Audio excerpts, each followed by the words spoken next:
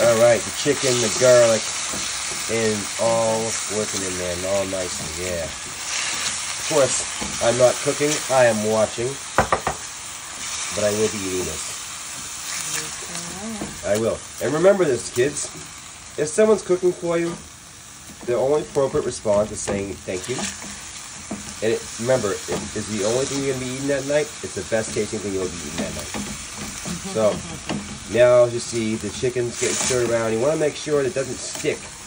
So it's moving nicely around the pan. The chicken you want to cook it first because I want to make sure that none of it is raw. Contaminated. Yeah, you don't want to cross-contaminate. That will not be nice. So, we have, uh, see, kind of a high heat on there, right? Mhm. That we do. Sure do. All right, we're moving that, that stuff around. That here we go.